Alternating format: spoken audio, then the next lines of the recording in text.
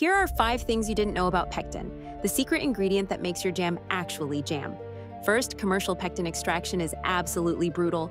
Fruit peels get boiled in industrial acid baths at 200 degrees Fahrenheit to break down cellular walls and release this natural gelling agent. Second, pectin content varies wildly between fruits.